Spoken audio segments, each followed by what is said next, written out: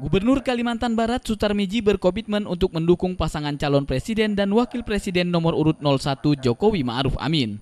Sutarmiji menilai bahwa dirinya merupakan kader partai yang memiliki jabatan politik, sehingga ia akan berkampanye untuk Jokowi Amin.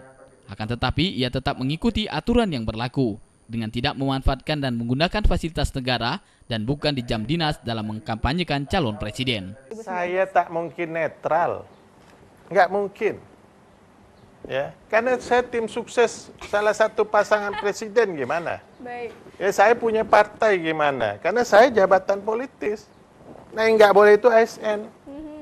Kalau kepala daerah boleh mau nyuruh kepala daerah netral itu yang tak paham politik. Sementara itu, Badan Pengawas Pemilu Kalimantan Barat meminta agar kepala daerah menaati aturan saat ikut kampanye. Kepala daerah diperbolehkan kampanye asal sesuai aturan, yakni di hari libur, tidak menggunakan fasilitas negara, dan mengajukan cuti. Ya, eh, di undang-undang itu kepala daerah memang diberikan ruang untuk eh, terlibat di dalam kegiatan kampanye ya. Namun memang harus memenuhi syarat-syarat eh, tertentu atau memenuhi suatu prosedur gitu ya.